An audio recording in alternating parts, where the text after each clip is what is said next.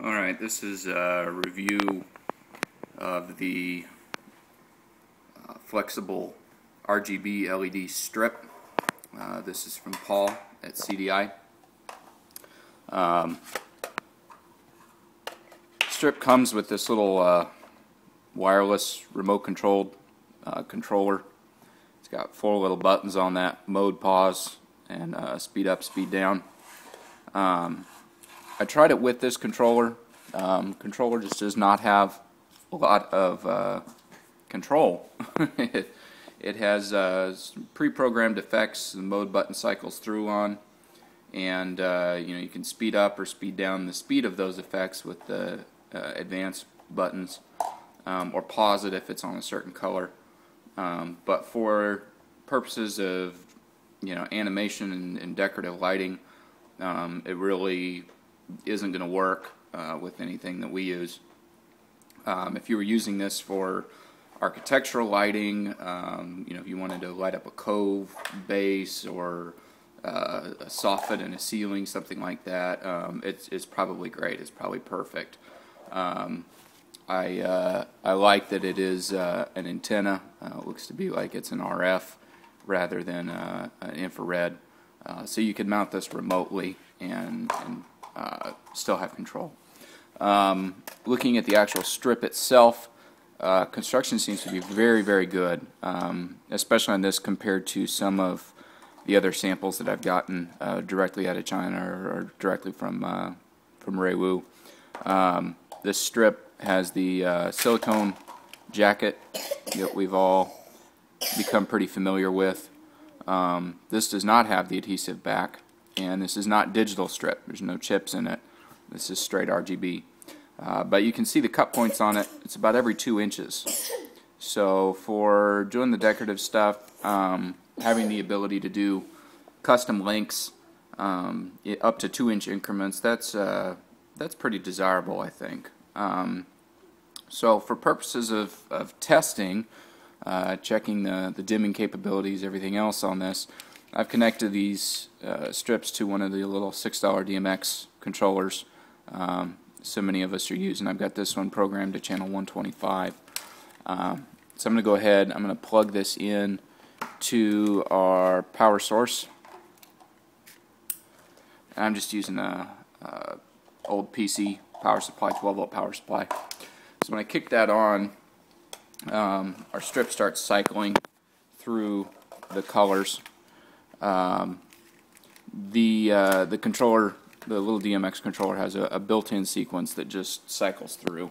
Uh, starts at red, goes through green, blue into white, and then it'll cycle, um, it'll turn off, and then restart again. Um, so you can see it kind of doing that color sweep through those effects here. Uh, in general, the colors on these are, are really nice. Um, the red is a, a, nice, deep, rich red. Uh, green's really vibrant.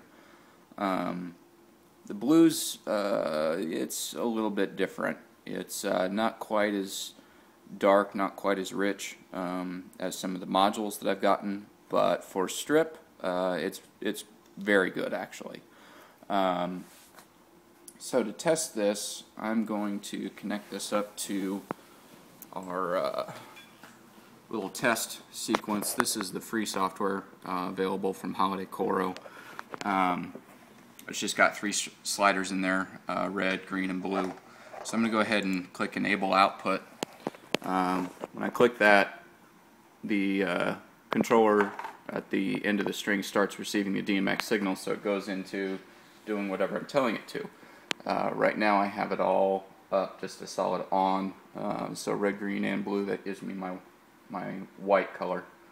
So if we change these down, this is the red, the green, and the blue.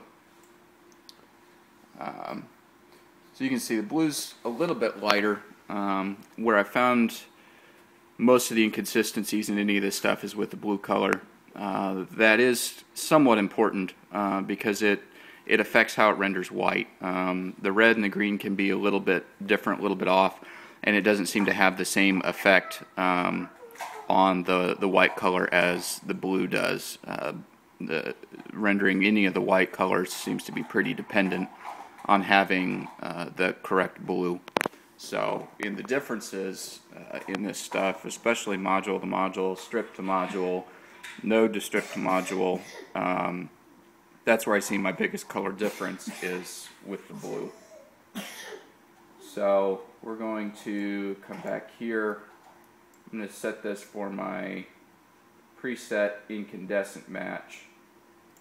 Um, comparing this stuff to, uh, say, uh, uh, an LED uh, rope light, a warm white rope light, or even an incandescent rope light. Um, this stuff is, because it's RGB, it's adjustable, um, it's variable. This is almost identical color-wise to the uh, the incandescent rope light uh, that I have. Um, when you look at them from more than about five feet away, uh, it's really imperceptible the difference between the two. Um, of course, the, the LED strip is a little bit brighter, um, and it's uh, directional. You know, it's not going to shine out the back. Um, both of those things are, are things I think are advantages of using something like this over the traditional um, rope light lighting. Um, you can see flexibility. This stuff is is very flexible. You can bend it right in half, um, either direction. I was looking at this for uh, uplighting some some candy canes. Um, it's uh, all in all, it's just a really really great product. Um, you know, quality on any of this stuff is is pretty hit or miss coming out of China. Um, and Paul, like always, uh, has made sure that the stuff he's got is is really high quality, uh, really good stuff. So couldn't be couldn't be happier with this. Um, thinking about ordering probably several spools for some projects for next year. Uh, if you got any questions, comments, uh, leave them at the end of the video or uh, comment in the post. Um, pricing and everything you'll have to refer to Paul, but I do believe this is going to be part of the pre-order sales. So uh, if you're interested in getting into some basic RGB stuff, uh, if you saw any of the the videos, especially the, the Halloween video that was this year, um, you know, I was using CCRs on the roof, but the rest of it was basically this stuff right here, just the, the straight RGB strip. Um, so if you're you're interested in looking at any of that, uh, give Paul a call, and uh, I'm sure he'll take care of you like he takes care of all of us. That's it.